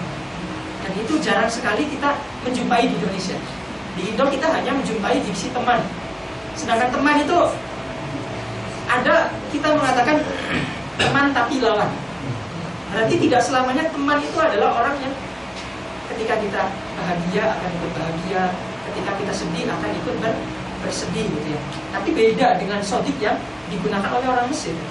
Mereka sedang berhusnudon kepada setiap orang. Seakan-akan, oh hey sodik gitu ya. Eh, kamu orang yang kalau saya sedih, kamu selalu ikut sedih. Kalau saya bahagia, kamu selalu bahagia. Setia dalam segala hal. Itu salah satu kebaikan yang kita bisa contoh daripada orang Mesir. Kemudian setelah dikatakan sodik, kemudian disifati lagi dengan sodikin. Maka makna sodik yang kedua adalah bermakna uh, ketulusan atau dalam bahasa Arab uh, apa somimul kolbi ya, somimul kolbi orang yang memiliki ketulusan. Artinya dia dia menjadi sodik dia menjadi kawan karib daripada Syekh Syarafuddin al dalam keadaan senang, dalam keadaan bahagia, itu semua muncul dari lubuk hati yang paling dalam. Karena orang itu ketika seseorang benar-benar mencintai sesuatu dan dia memiliki kecintaan yang tulus, pasti bisa dirasakan oleh setiap orang. Sekalipun mungkin ada orang yang menyatakan kamu kamu cintanya hanya sekedar pencitraan atau kamu cintanya hanya sekedar ingin memanfaatkan tapi kalau seseorang ini sudah memang memiliki kecintaan yang tulus dari dalam hati pasti orang yang melihat tidak akan bisa mengingkari pasti seperti halnya kita melihat para ulama ketika para ulama bagaimana mereka menyapa kita. Dalam hati kita nggak mungkin kita akan mengingkari adanya ketulusan kecintaan dari para ulama kepada para muridnya. Itu salah satu bentuk cinta yang tulus pasti tidak akan mudah diingkari oleh hati yang tulus juga. Oke. Su'il tu fihi min sodikin sodiki yafham. Sodik yang seperti apa? Sodik yang paham. Kauli terhadap perkataan saya. Kauli berarti menjadi mafulun bihi. Kenapa bisa memahami perkataan saya? Li'tiqadin wathiki. Karena dia memiliki keyakinan yang sangat kuat. Yang sangat terpercaya gitu. Artinya tidak mungkin Syekh Syarafuddin Al-Imriti mau membuat suatu nazam kalau yang minta adalah bukan seseorang yang menjadi sahabat karibnya. Bayangkan, ada orang lain tiba-tiba meminta sesuatu kepada kita. Pasti kita akan bertanya-tanya, "Ya, ente siapa? Gitu kan ya? Ente siapa minta-minta kepada saya? Tapi berbeda ketika yang meminta adalah orang yang dekat dengan kita. Kamu mau minta apa? Coba, apa yang kamu butuhkan? Pasti kita akan memberikan respon seperti itu ya. ya itu karena kita meyakini bahwasanya sahabat karib itu pasti akan uh, apa? Kita meyakini dia memiliki uh, cinta yang tulus, keyakinan yang tulus. Kemudian, idil fata. Nah, lalu kenapa sih ketika dia memiliki keyakinan yang tulus, ya, kemudian uh, dia berhak untuk meminta dan saya berhak untuk mengabulkan permintaannya. Idil kata karena seorang pemuda hasbah dikodihi itu tergantung idil fata hasbah dikodihi rufi'ah. Karena seorang pemuda itu rufi'ah rufi'ah menjadi khobar akan diangkat hasbah dikodihi sesuai dengan derajat keyakinannya wa kullu lam ya'taqid lam yantafi dan setiap orang yang tidak yakin tidak memiliki keyakinan tidak memiliki ketulusan lam yantafi maka dia tidak akan bisa mengambil manfaat. Uh, saya masih ingat sekali dulu guru kami Syekh Muklas yang Muklas pernah memberikan nasihat kalian para santri harusnya menjadikan bait idil fatah hasbah iqadihi rufi' wa kullu man lam ya'taqid lam yantafi sebagai moto hidup. Kenapa? Karena dalam mencari ilmu ini proses yang sedang kita lewati bukan proses yang mudah. Bukan proses yang bisa kita gapai dengan sekejap mata. Dengan seperti halnya kita membandingkan telapak tangan. Proses mencari ilmu itu proses yang sangat panjang yang sangat berat. Maka ketika kita mengetahui beratnya proses yang sedang kita jalani, maka di sana dibutuhkan adanya tekad yang kuat dalam hati. Kepercayaan yang sangat kuat, tekad yang kuat sedari awal. Kenapa? Karena dengan tekad yang kuat, maka seorang tolim akan sampai kepada titik ilmu yang sedang dia cari, yaitu pemahaman yang baik terhadap Al-Quran dan As-Sunnah. Begitu juga nasihat ini juga bisa berlaku kepada seorang santri. Bagaimana dia memperlakukan uh, gurunya. Kalau dalam hal ini berarti bagaimana kita memperlakukan masyayikh kita di Azhar. Jadi kita harus punya keyakinan bahwasanya setiap guru-guru kita di Azhar adalah orang-orang yang alim.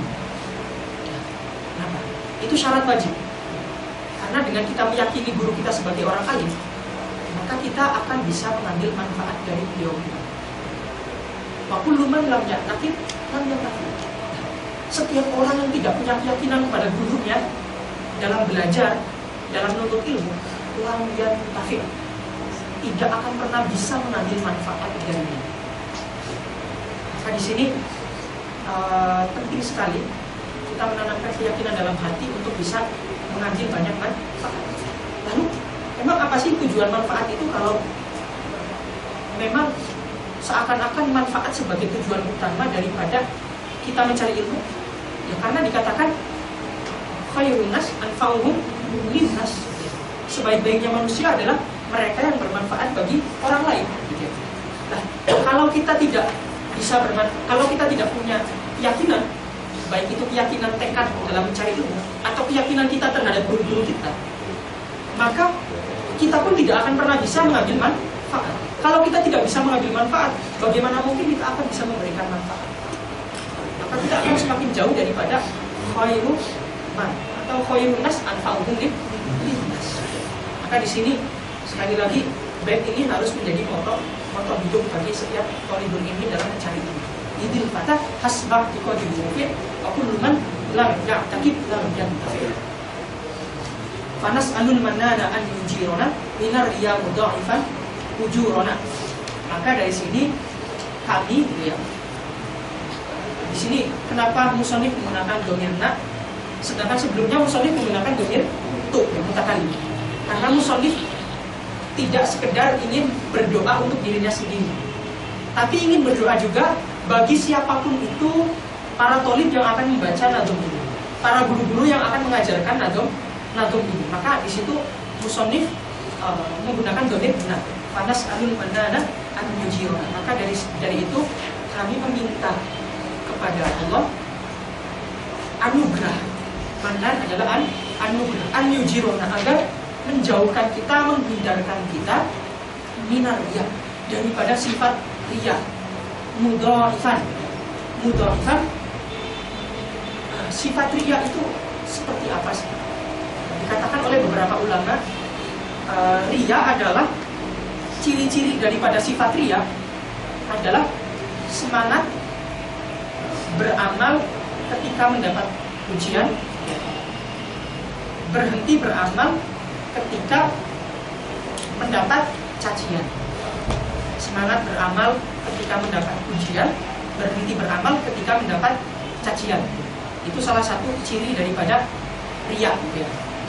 Nah, maka dari sini ketika kita mengetahui salah satu ciri-cirinya maka dalam menjalani kehidupan kita dalam melakukan apa namanya ibadah kita kemudian dalam menuntut ilmu layaknya kita tidak peduli dengan apa yang dikatakan oleh orang lain.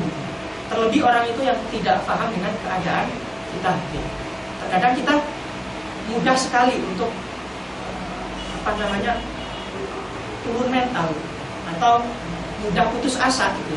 Ketika kita memiliki niat baik tetapi ada orang lain yang menuduh kita ingin menginginkan sesuatu dalam perbuatan baik kita. Terkadang juga kita tidak memiliki semangat ketika tidak ada yang menyemangati. Belum semangat karena belum disemangati ayam. Itu kan. Nah, maka dari sini ketika kita sudah mengetahui ciri-ciri ria, maka alangkah baiknya kita melakukan suatu kebaikan yang mengalir saja, mendapatkan pujian, yaitu tidak membuat kita melayang, mendapatkan cacian yang tidak akan membuat kita uh, berhenti memberikan manfaat. Itu apa namanya bentuk uh, doa ini doa yang diberikan oleh musonif agar kita mengikuti jejak beliau terhindar daripada sifat sifat ria semoga kita semua terhindar daripada sifat ria mudoifan mudoifan di sini menjadi hal.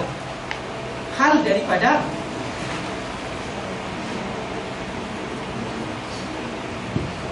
dari uh, halnya sohibul halnya adalah uh, Allah. Artinya dan dalam keadaan semoga Allah melipat gandakan ujurona ya pahala-pahala kita. Wa an yakuna nafi'an bi'ilmihi. Dan semoga agar uh, menjadi manfaat gitu ya. Apa yang menjadi manfaat? Dengan mengetahui uh, dengan mengetahui nado ibriti manfaat bagi siapa? Bihnya adalah mani tanah. Bagi mereka ya, tanah. Orang yang memiliki perhatian ini. Dulu saya dulu pernah memaknai tanah sebagai rasa nyaman. Kok bisa beliau memaknai sebagai rasa nyaman? Karena tanah ini kan seperti halnya kita. Ketika kita memperhatikan seseorang kenapa kita memperhatikan seseorang karena kita nyaman dengan dia gitu ya karena kita nyaman dengan dia nah ketika kita nyaman gitu ya maka kita bisa melakukan mengorbankan banyak hal. Itu karena sebabnya karena sebuah kenyamanan. Nah begitu juga ketika kita belajar uh, nahu, ketika kita memahami kritik, ketika kita sudah nyaman dengan ilmu yang ada di dalamnya, maka kita akan mudah untuk apa namanya tanah memberikan perhatian yang lebih, mengorbankan segala hal. Untuk apa? Untuk menghafalkannya, untuk memahaminya dan untuk mempraktekannya di dalam uh, kitab-kitab turos dan Alkitab dan as, as sunnah. Dihifdihi, tanah dengan apa? Dihifdihi dengan uh, menghafalkan nazam ibriti, wafamihi dan memahami nazam ibriti. Oke, itu mukadimah daripada musonif di dalam kitab Al-Duratul Bahiyah Limutamimi Al-Jurumiyah sebagai pelengkap daripada kitab Al-Jurumiyah Oke, tadi dikatakan bahwasanya taufik ya. Di awal dikatakan bahwasanya taufik itu harus beriringan di dalam ilmu dan di dalam ketakwaan. Artinya di dalam menuntut ilmu harus ada taufik. Karena dalam hadis dikatakan manis dada ilman walam yasdad hudan falam yasdad minallahi illa bu'dan.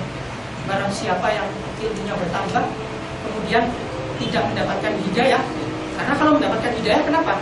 Nanti akan mendapatkan tau taufik. Kalau hidayah tidak ada sama sekali bagaimana mungkin akan mendapatkan tau taufik gitu. Karena tadi kita katakan hidayah sebagai alamat gitu. Taufik sebagai tujuan. Walam dan minallahi illa bukan. Bukannya kita malah semakin dekat, malah semakin menjauh. Namun kita ini, namun kita ini. Kita selesaikan sedikit, masih ada beberapa menit dalam pembahasan kalam. Selanjutnya Musonif setelah itu memulai pembahasan di dalam uh, dengan pembahasan al-kalam. Karena memang pembahasan nahu adalah al-kalam itu sendiri.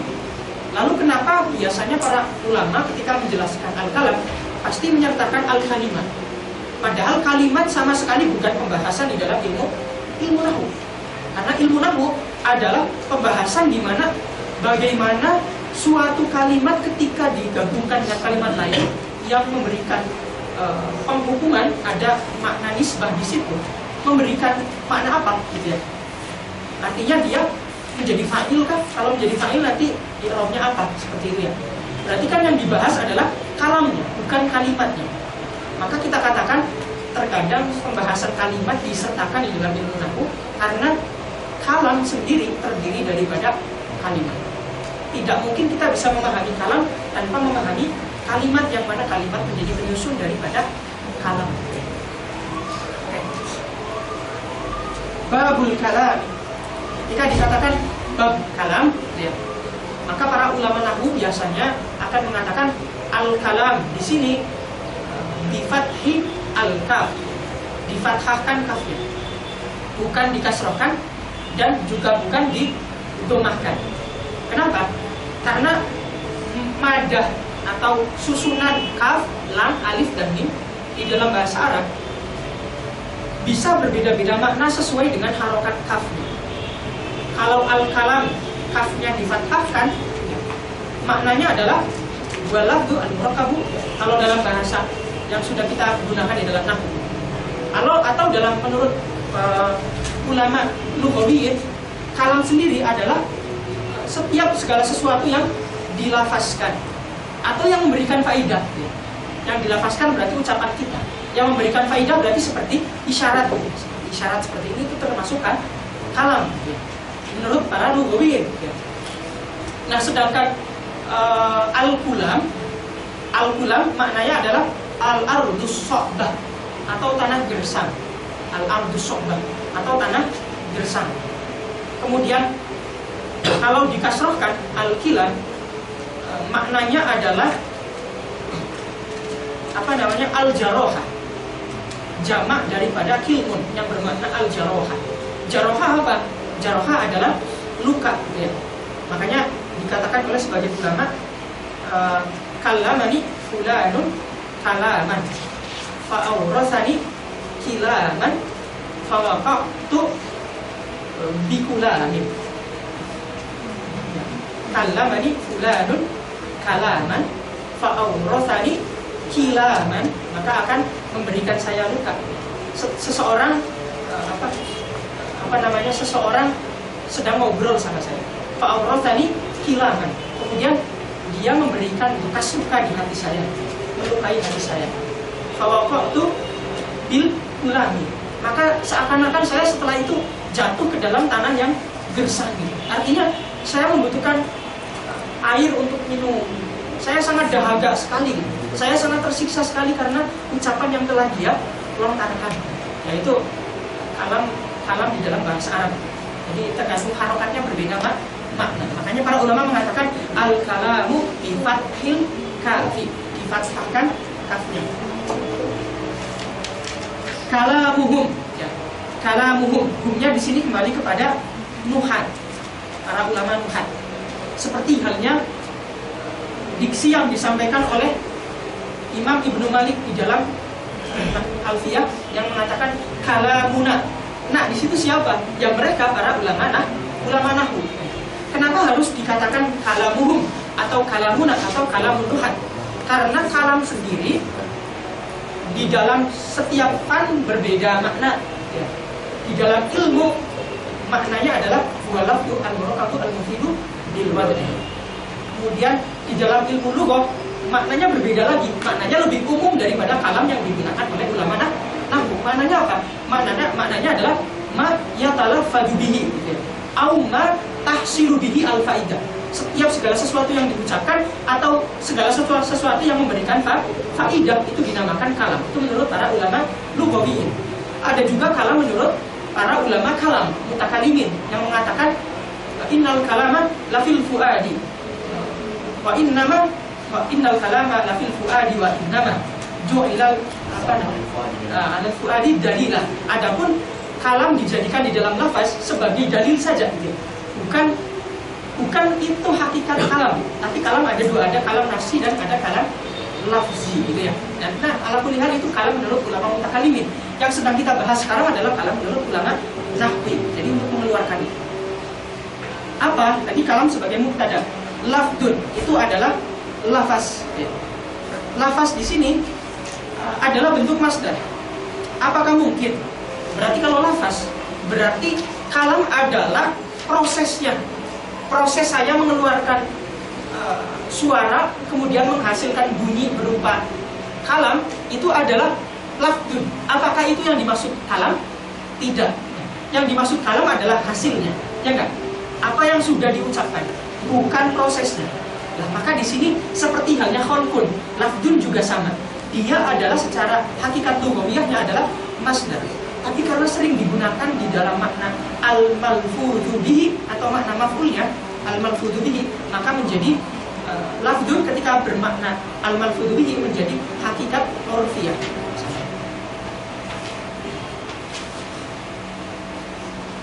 Andai saja di dalam kata lafdun ini kita ganti menjadi kaulun maka lebih afdol.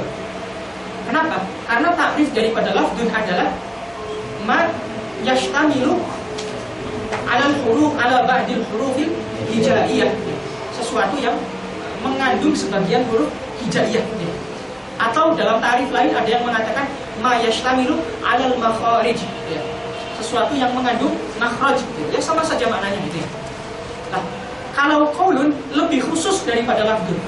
Apa kaulun adalah uh, ma yashtamilu ala hurufil hijaiyati ya wa yufidu wa afada atau memberikan ma makna atau lafdun afada itu namanya kaul kaulun sehingga kalau kaulun ini belum kaulun ini mencakup adanya maudhu dan mukmal kalau kaulun kalau lafdun maklum kalau lafdun ini masih mencakup adanya yang maudhu dan adanya yang mukmal kalau kaulun la yakunu illa maudu'an, hanya maudhu saja. Karena sesuatu yang memberikan faidah hanya uh, kalam yang maudhu, hanya kalimat yang maudhu. Sedangkan kalimat yang mubal atau kalam yang mubal tidak sama sekali memberikan faidah. Kalau nggak memberikan faidah berarti dia mubal. Nah, maka lebih layak di sini harusnya kalamuhu qaulun. Kan- Kenapa? Karena qaulun adalah jenis jenis qarib. Sedangkan lafdun adalah jenis ba'id. Ya. Nah, menggunakan takrif had dengan jenis qarib aula atau muqaddamun ala ta'rifi bil jinsil ba'id. Ya. Nah, di situ uh, ala tariqatil ahsan, ahsani. Tapi nggak masalah, itu tidak salah. Kalamuhum lafdun mufidun. Lafaz yang memberikan faidah. Ma yahsunu sukutul mutakallimi alaiha eh, alis apa namanya? Ma afada faidatan yahsunu sukutul mutakallimi alaiha. Ya. Setiap segala sesuatu lafaz yang kalau diucapkan maka si mutakallim akan terdiam dan si sami juga akan faham. Tapi dengan syarat, dengan syarat si sami faham bahasa Arab.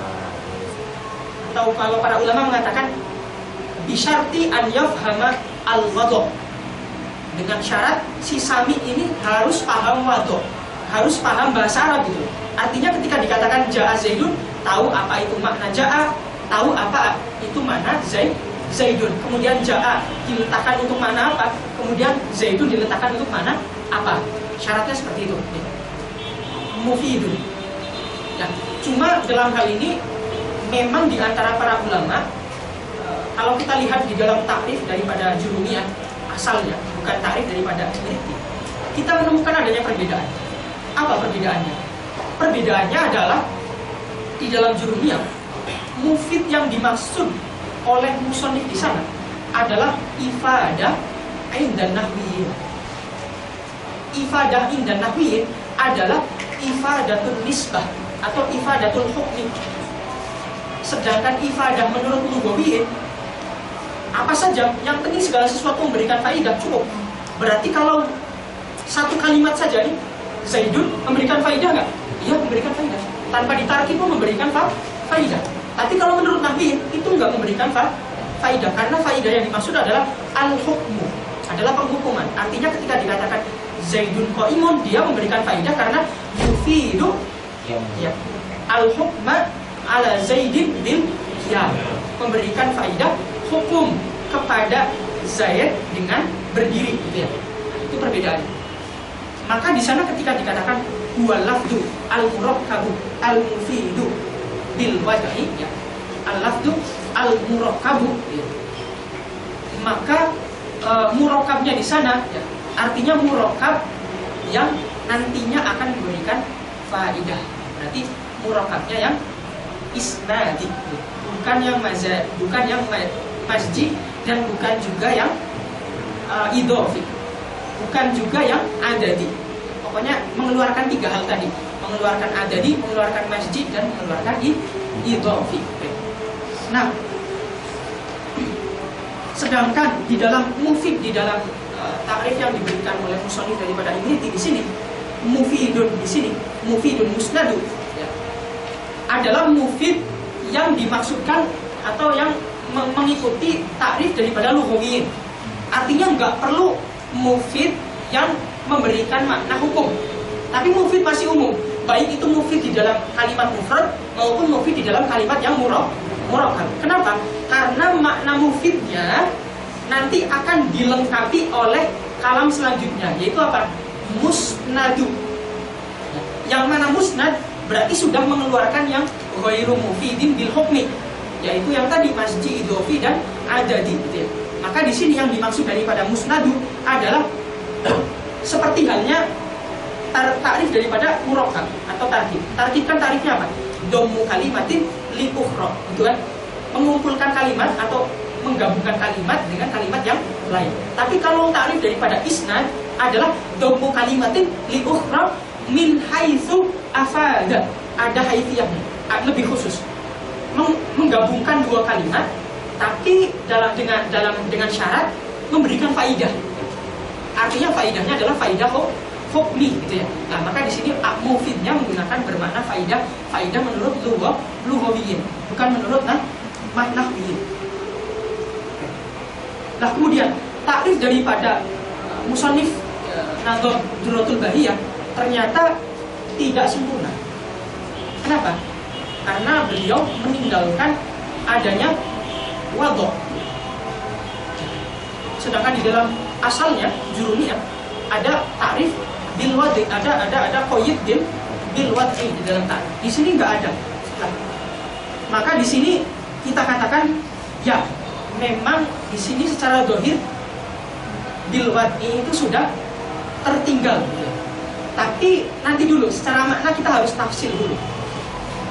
Syuroh daripada jurumiyah berbeda pendapat dalam memaknai bil wadi. Ada yang mengatakan bil wadi maknanya adalah ja'ul lafzi dalilan al makna ya bi an yakuna minal awdha'i al arabiyah. Artinya maknanya adalah ja'lun, tetapi ja'lunnya adalah dalam wadha arabi arabiyah. Berarti mengeluarkan awdha yang ajamiyah ya. Ada makna yang kedua, yaitu apa? Al-qasdu. Al-qasdu artinya ketika dikatakan bil ini adalah al-qasdu, maka yang penting lafaznya itu disengaja oleh mutakalim. Adapun si sami mau memahami tidak seperti yang diinginkan oleh mutakalim itu terserah.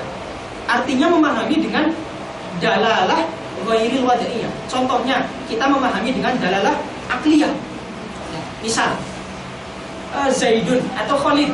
Khalid sudah 20 tahun nggak pulang atau ya Khalid sudah 20 tahun tidak pulang ke rumah. Tiba-tiba setelah itu dia pulang. Setelah pulang, orang yang ada di depan rumah bilang, Ja'a Khalidun, Ja'a Khalidun. Kemudian ada orang yang masih di dalam rumah, tertutup oleh tem tembok gitu ya. Nah, kalau yang di depan memang ingin mengatakan Khalid sudah da datang. Tetapi orang yang di dalam rumah, yang mereka pahami bukan Maji'in Zaidin, bukan. Tapi yang dia pahami adalah Anna Khalidun Qad Hayyun Zaid masih apa Khalid masih masih hidup ternyata. Ya, ternyata yang dipahami adalah bukan bermakna Ja'a Khalidun, tapi yang dipahami adalah Khalidun Hayyun.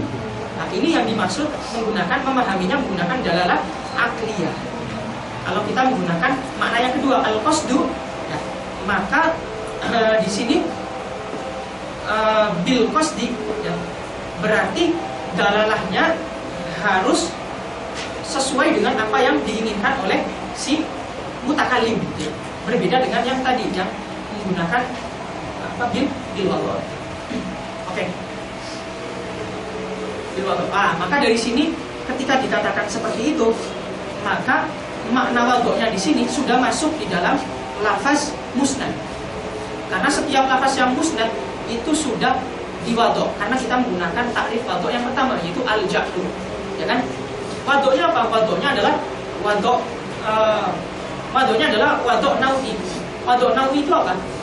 Si si wadi dulu pernah menentukan bahwasanya kalam tersebut misal ada kalimat terdiri dari mubtada atau khabar maka wadoknya adalah si mubtada dihukumi dengan khabar itu namanya wadun naui artinya wadun naui di bawahnya ada penggunaannya banyak sekali. Ada kalanya berupa Zaidun ada kalanya berupa uh, Zaidun Qaimun, ada kalanya berupa Khalidun Naimun dan seterusnya. Karena wadoknya adalah ketika ada mubtada, maka dia dihukumi dengan khobar gitu ya. Nah, begitu juga terdapat di fi'il dan fa'il. Itu berbeda dengan wadun syah syaksi seperti halnya Zaid Zaid diwadok untuk siapa Zaid diwadok untuk seseorang tertentu ya. Berarti dia di situ sudah tertentu bukan lagi naui. Kalau naui kan masih terdiri dari beberapa penggunaan. Tapi kalau syaksi sudah tertentu satu kali saja wadoknya. Ya. Ketika digunakan, ketika diberikan untuk Zaid sebagai nama sekutu dia, ya udah itu wadok sekaligus. Ya. Wal kilmatul labdul mufidun mufradun. Wallahu a'lam bishawab. Insyaallah nanti uh, kalam nanti setelahnya akan kita teruskan pada pertemuan berikutnya. Alhamdulillah uh, terima kasih atas segala perhatian, mohon maaf atas segala kekurangan. Sekian wassalamualaikum warahmatullahi wabarakatuh. Waalaikumsalam warahmatullahi wabarakatuh. Allahumma salli afdal salati ala ashabi mahmuqatika sayyidina Muhammad wa ala